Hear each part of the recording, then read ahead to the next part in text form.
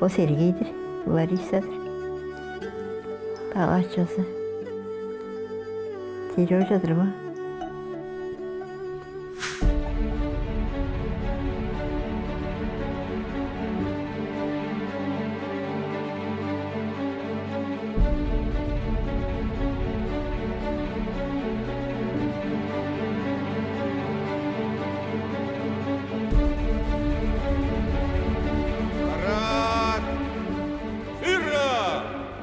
Для встречи слева!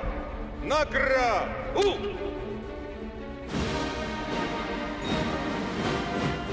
Военный парад принимает министр обороны Российской Федерации, герой России, генерал армии Сергей Шойгу.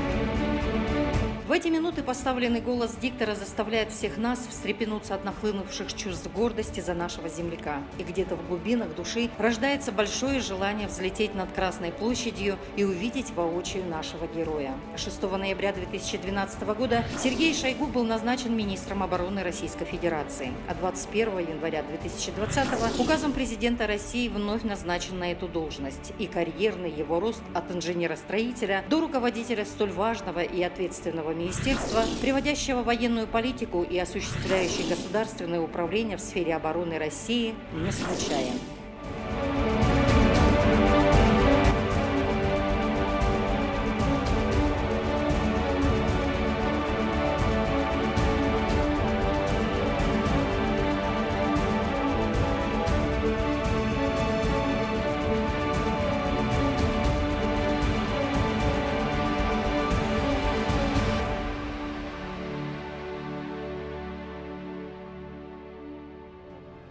Если внимательно проанализировать всю деятельность Сергея Шойгу, то четко прослеживается его жизненная кредо ради жизни. Ради жизни он с шестого класса работал в археологических экспедициях. Это были непростые выезды для любопытного подростка. Не просто копал землю. Найденные учеными артефакты заложили в юном Сергее большой интерес к истории.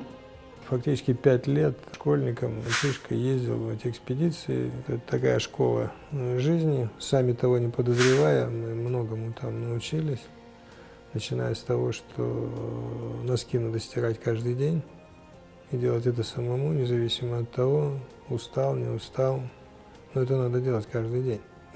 И заканчивая тем, что первые навыки по приготовлению пищи самому себе – В дальнейшем его знания в этой области привели к тому, что Сергей Шойгу стал в ноябре 2009 года президентом Русского географического общества, главная задача которого – собрать и направить силы России на всестороннее изучение родной земли. Огромное пересечение культур, то место, где на одной территории памятники культуры э, и э, захоронения скифов, гуннов, уйгуров, э, мангун-тайгинцы. Все это невероятно интересно, если этим заниматься действительно с э, азартом, с удовольствием, а не из-под палки.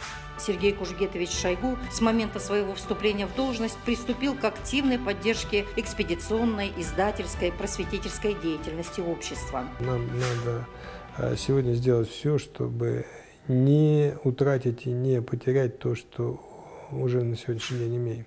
То, что изучено, то, что описано, и то, что ну, должны знать э, граждане нашей страны и, э, во всяком случае, те, кто здесь э, жил и родился.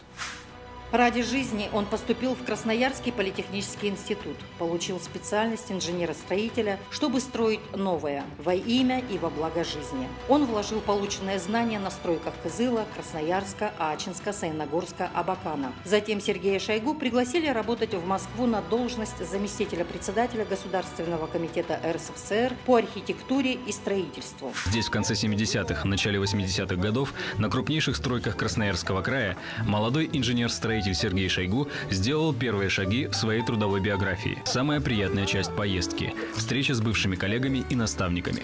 Волнение никто не скрывает, ни сам Шойгу, ни его друзья. Ну вот оно, родимое здание.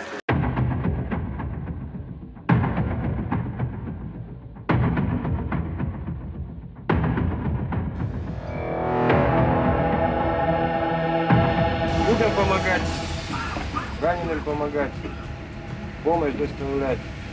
восстанавливать жизнь, давать воду, электроэнергию, связь. Вот основные вопросы. Ради жизни Сергей Шойгу стал первым спасателем. Это был апрель 1991 года. Он возглавил Российский корпус спасателей, который вскоре стал Государственным комитетом по делам гражданской обороны, чрезвычайным ситуациям и ликвидации последствий стихийных бедствий. Это родилось после Армении, после Чернобыля.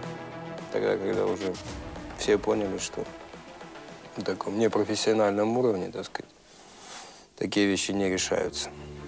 Особая часть деятельности ведомства – это миротворческие операции. Ради жизни МЧС стал лучшим в мире спасательным ведомством. Его формированием и развитием с нуля занимался Сергей Шойгу. Да я его знал еще с корпуса спасателей, он э, приезжал, когда на комитет назначили. Молодой, резкий. Вот он как взялся, он взялся. 1992 год. Абхазия. Правительство России поручает 37-летнему руководителю корпуса спасателей Сергею Шойгу крайне опасное дело – эвакуировать из зоны грузино-абхазского конфликта всех российских граждан. Корпус спасателей создан всего полгода назад. Не хватает техники, транспорта, хорошо обученных профессионалов. Для Шойгу и его людей это боевое крещение в прямом смысле слова.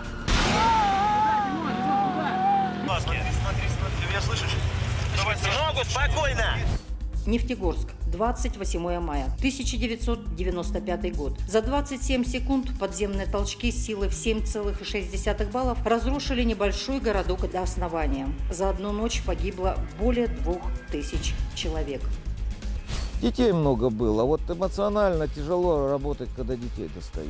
На шестой день там двоих последних подняли, живых. А потом уже не было. Есть кто живой? Есть кто живой? Есть кто живой? Промышленная техногенная катастрофа, произошедшая 17 августа 2009 года, на одном из агрегатов крупнейшей в России Саяно-Шушенской ГЭС унесла жизни 75 человек. Возникла определенная паника среди населения. Это происходило до того момента, пока на территорию республики не прибыл министр по чрезвычайной ситуации Сергей Кужугетович Шойгу. Первое, буквально, что он сказал, коллеги, проводится спасательная операция. Она не завершится до того момента, пока каждого человека, кто находился на станции, мы не найдем. Конечно, предстояло, э, во-первых, довольно быстро разобраться, а, во-вторых, э, сделать все, что э, необходимо для того, чтобы сразу в первые часы, э, хотелось бы, конечно, минуты, а остановить этот поток воды, Спасательная операция была сложной и опасной. Применялось альпинистское снаряжение, химзащита. Было задействовано до 2700 человек. Первые решения, которые принял Сергей Кожугетович, поделили весь исход операции. И Сергей Кожугетович не покинул станцию до того момента, пока последний погибший не был найден и все работы спасатели не завершили. Мы очень четко, конкретно чувствовали поддержку своего руководителя, настоящего командира, который не прятался никогда за спины своих подчиненных, брал на себя все время ответственности и принимал самые верные управленческие решения. Ради жизни Сергей Кужугетович Шойгу творит.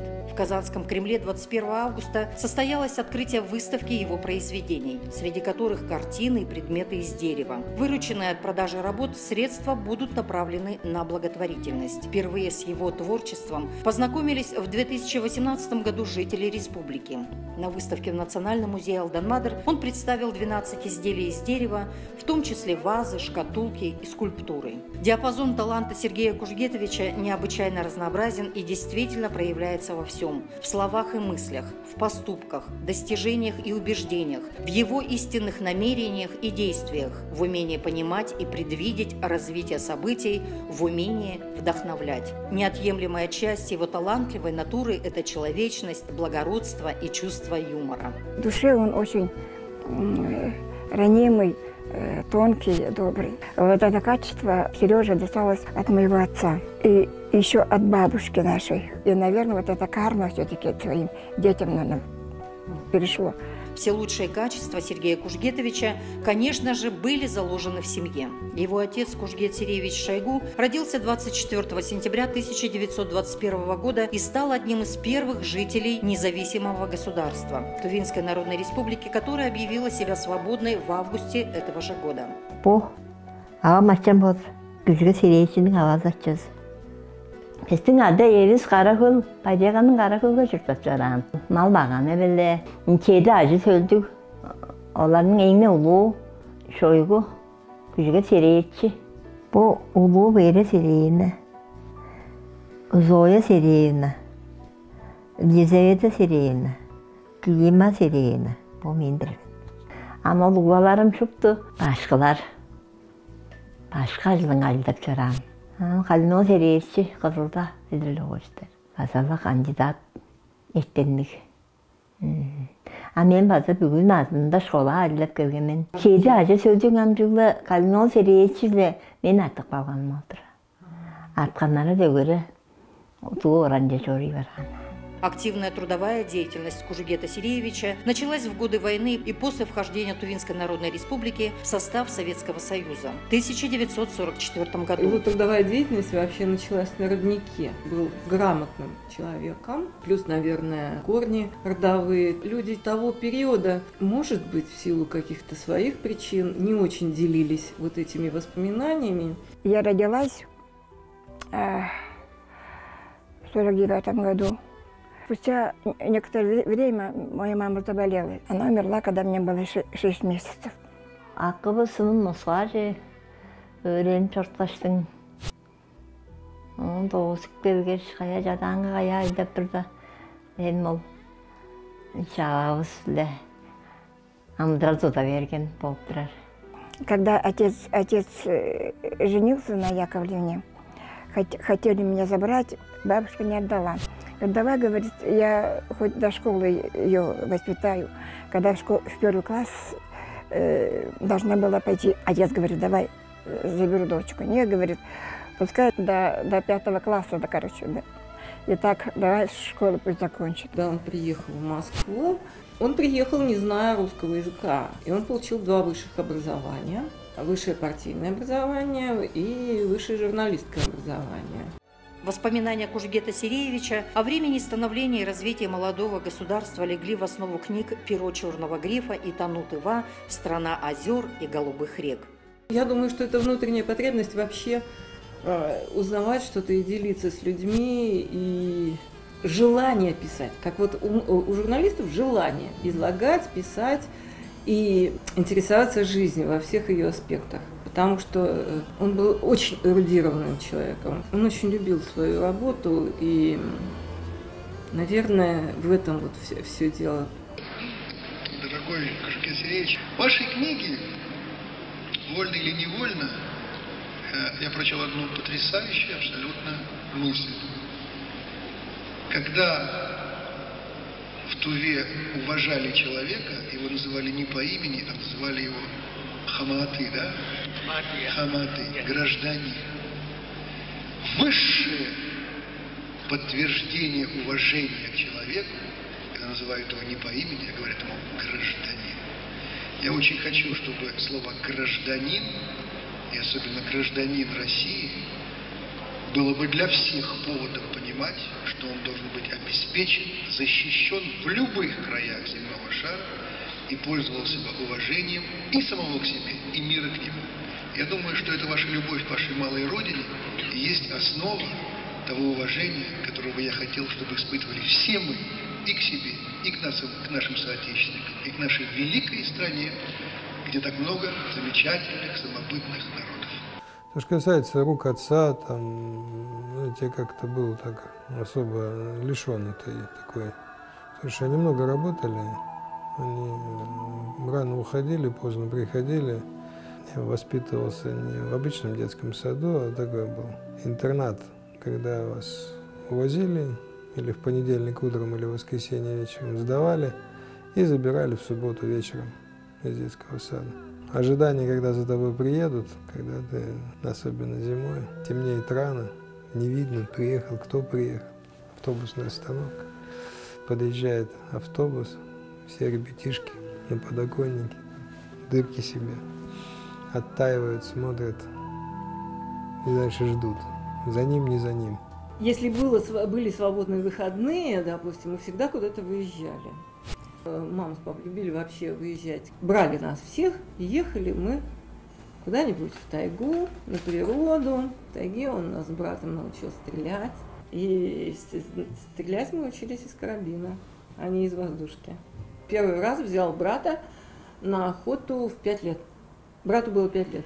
Мама этого не знала, что она думала, они просто поехали там, ну, в лес, да, там просто в тайгу. Как-то, если бы она знала, как это все происходило, она была уверена, что папа там с Сергеем там за руку, там везде. Мама Сергея Кужгетовича, Александра Яковлевна Шойгу, в девичестве Кудрявцева относится к той плеяде советских специалистов, приехавших в Туву помогать в развитии молодой республики. Сама она из Орловщины, но семья незадолго до войны переехала на Украину. По специальности Александра Яковлевна зоотехник и за годы работы внесла огромный вклад в развитие сельского хозяйства. Главное, знаете, мне в первую очередь, что поразило – она очень вкусно готовила, да. Я все время говорила, вот вырасту, буду так готовить. Потому что она очень хорошо готовила, очень много готовила, разные. Ну, естественно, это наша кухня тувинская. И это. И мне шила всегда платьишки, шила, сарафанчики шила всегда. И всегда гладила меня по голове. Светланочка, как ты? Почему меня звала Светланочкой? Всю свою сознательную трудовую деятельность Сергей Шойгу посвятил Отечеству. Его взгляд был всегда устремлен вперед. Сергей Кужегетович – созидатель, и где бы он ни работал, никогда не забывал о своей малой родине. Это же родина. Родина по родине. А тут э, совершенно такая э, своя, что ли, тоска какая-то, которая периодически возникает в памяти в разные моменты. Смотришь допустим, 1 сентября вспоминаешь свою родную школу, когда э, слушаешь песни старшего поколения, их подвигах, их делах, вспоминаешь родителей, родной дом, вспоминаешь тех, э, кто тебя учил, с кем ты вырос и под чьим присмотром ты вырос. Тува – это колыбель его жизни, его частица души, которая хранит следы детства, любовь родителей и тепло родного очага. Это дом, где жили его родители. Тувинцы считают, что кочевники считают, что самое священное место, где он родился. Это вот все, что предметы вы видите, это как бы такой вот собирательный такой образ да, вот советского быта. Вот. Мы очень хорошо знаем, что каждом доме были э, такие шкафы, были, значит, э, именно в 50-е годы как раз мы видим, вот такие были салфеточки, обязательно были книги, и на стенах, на стенах всегда висели фотографии. Вот как раз мы э, как бы такой показали э, то как бы эпоху, значит, то время, значит, в, в котором вот жили вот родители Сергея Кужугетовича. Силу своих возможностей и авторитета Сергей Кужугетович Шойгу напрямую или косвенно всегда содействовал развитию республики, оказывал и оказывает посильную помощь Туве. Ощутимая поддержка Сергея Кожугетовича именно вот в развитии города Чадан. Большой физкультурно-оздоровительный комплекс. Даже вот наши э, буддийские храмы Алдыхюри, Устюхюри, они же тоже получили э, поддержку Э, и благодаря этой поддержке они снова заново восстановлены. Чоннуң тутукулда чарлакман. Үгү таванның ол пулуңнардан жүтүкчү жон кергештиң боттарның үлүүн кийирип тутуңнун ажылага кийренге та үлүүн кийириштер туран диедертер ол теге күжөт очин черле жуттуң тевискеринке өскө да жерлерге көрүскөн үлүү деп атып Часто люди, особенно историки, любят рассуждать о роли личности в истории. Для одних это время и место их жизни. Другие своей жизнью и делами меняют и пространство, и время. Сами создают эпохи, историю, приводят движение пространства. Это как раз про такие, как Путин и Шойгу. Невозможно однозначно оценить роль и место Шойгу для России и для маленькой родной Тувы. Он, безусловно, глыба. Наша надежда и опора – исторический шанс на прорыв. И просто удивительный, замечательный человек.